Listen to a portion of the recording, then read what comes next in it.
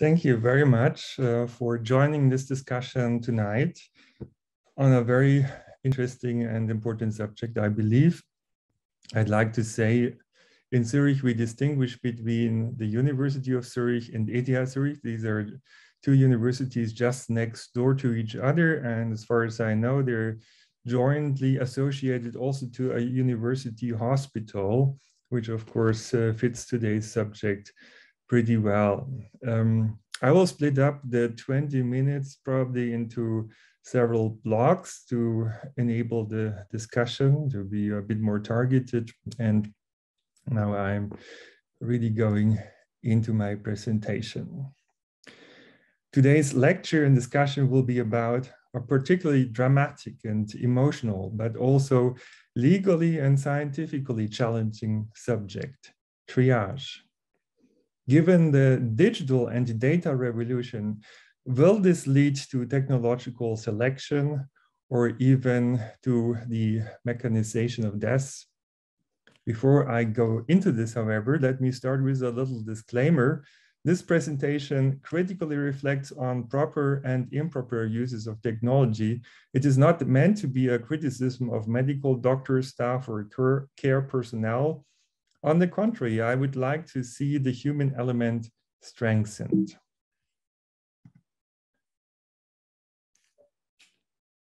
Health data overall bear great promises for a healthier and happier life, but they also make us vulnerable. Making use of millions or billions of data points, machine learning and artificial intelligence are now creating new benefits. However, they can also have undesirable implications, often in the sense of undesired side effects. Examples for this are discrimination, the mechanization of deaths, and genetic, social, behavioral, or technological selection, which may imply eugenic effects or social Darwinism.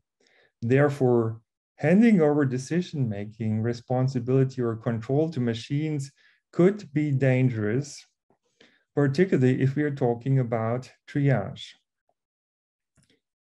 Traditionally, triage decisions are considered to be extremely problematic and acceptable only in war times or extreme disasters, if at all. If triage measures would no longer be limited to such situations, but become a new normal, we would consider such uses of triage procedures as unconstitutional, which must be prevented by political and legal oversight. And I'm pretty sure we'll have some discussion on that later on. But this is the motivation of the paper that was circulated with the title Triage 4.0 on death algorithms and technological selection. Is today's data-driven medical system still compatible with the constitution? And this has been triggered besides the German and European debate about triage by publications such as the one over here, which appeared in MIT's Technology Review. And it says doctors are using AI to triage COVID 19 patients. The tools may be here to stay. So recently, it seems that in some countries, triage has become an everyday practice, and such life and death decisions are increasingly assisted or even taken by algorithms using highly sensitive personal data, particularly health data, in a particularly problematic context. Let's remember the physician's pledge also known as the Declaration of Geneva, which demands and promises I will respect the autonomy and dignity of my patient. I will maintain the utmost respect for human life. I will not permit considerations of age, disease, or disability, creed, ethnic origin, gender, nationality, political affiliation, race, sexual orientation, social standing, or any other factor to intervene between my duty and my patient. So given that algorithms are increasingly entering medicine, is this still guaranteed? Recently, a paper by Wynants et al. listed an impressive number of 107 prognostic models for predicting progression to severe disease, intensive care unit admission, ventilation, intubation, length of hospital stay, and mortality risk. The sobering conclusion of the study is that the models were rated as having a high risk of bias, overfitting due to small or modest sample sizes, and exaggerating reported predictive performance.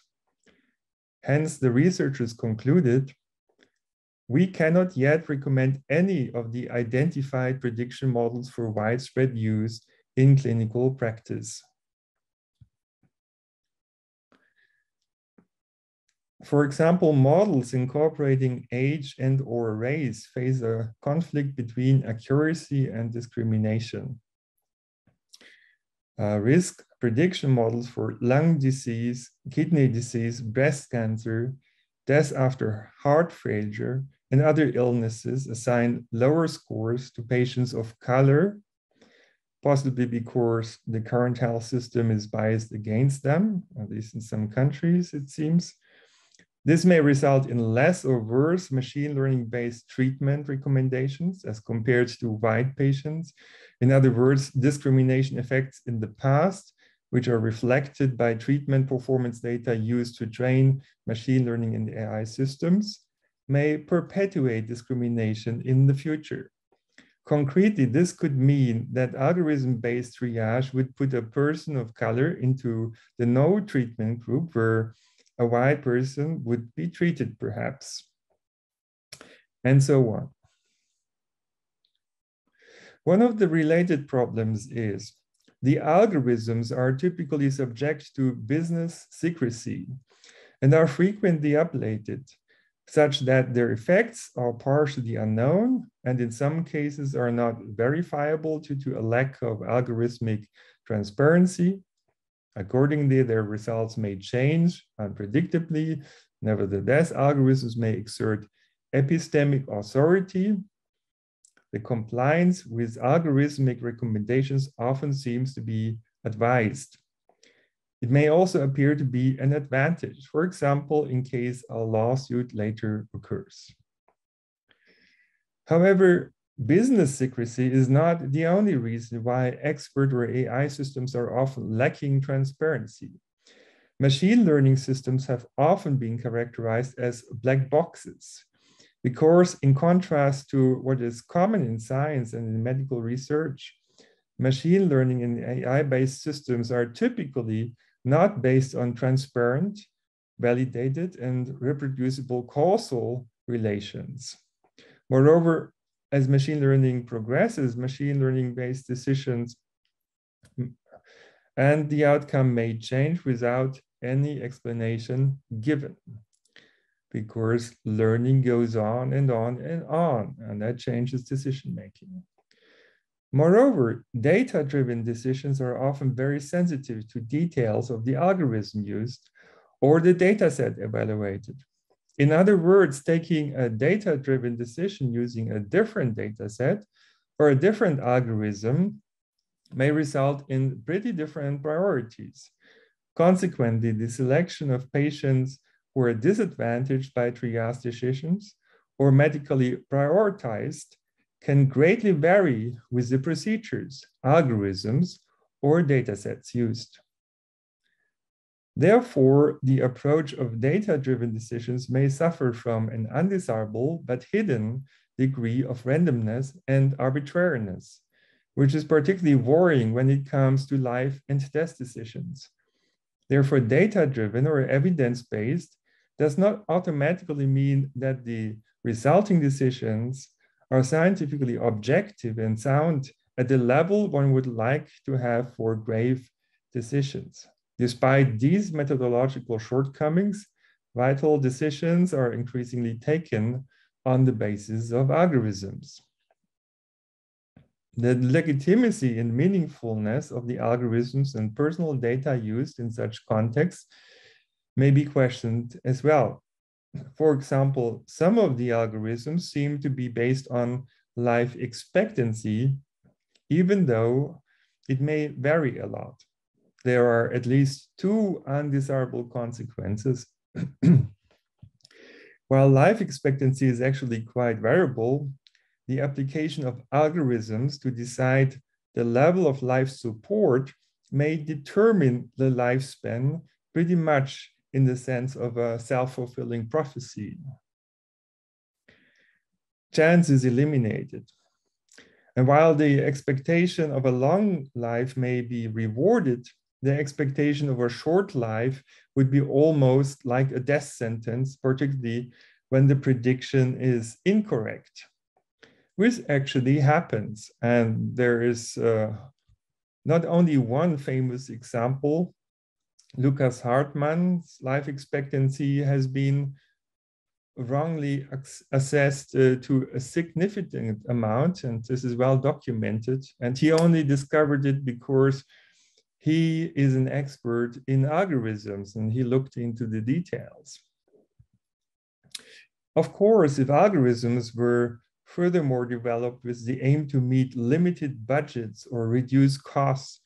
This could imply that AI-based technological selection might even shorten lifespans systematically.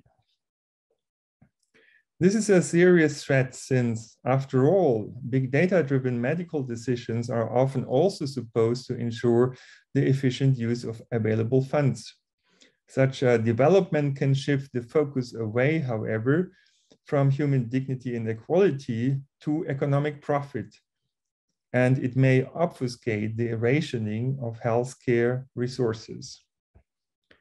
If in addition, individual insurance coverage is taken into account, social selection could happen.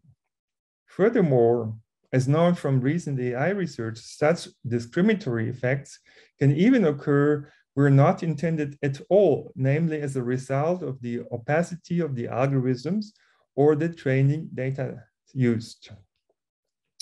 In conclusion, while machine learning and the AI offer, I believe, many promising potentials for medicine and health altogether, the application of algorithms to life and death decisions can imply technological selection and a mechanization of death, particularly if these are allowed to act autonomously. Digital technology, without any doubt, holds many promises for a better future. But to unfold their full benefits, it must be ensured that big data, artificial intelligence, and other technological innovations are used in a fair way and that problematic applications are avoided.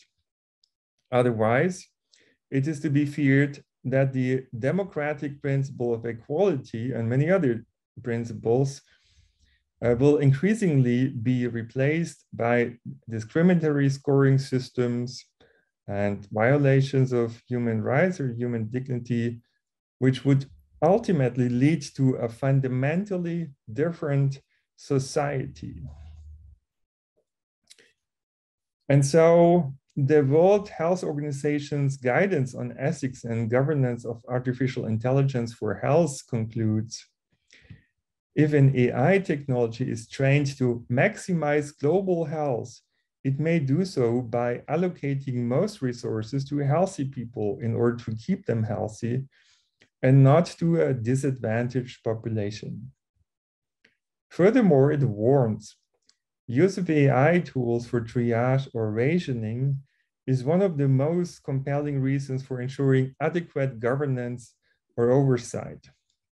The possibilities of unintended bias and flawed inference emphasize the need to protect people and processes from computational misadventure.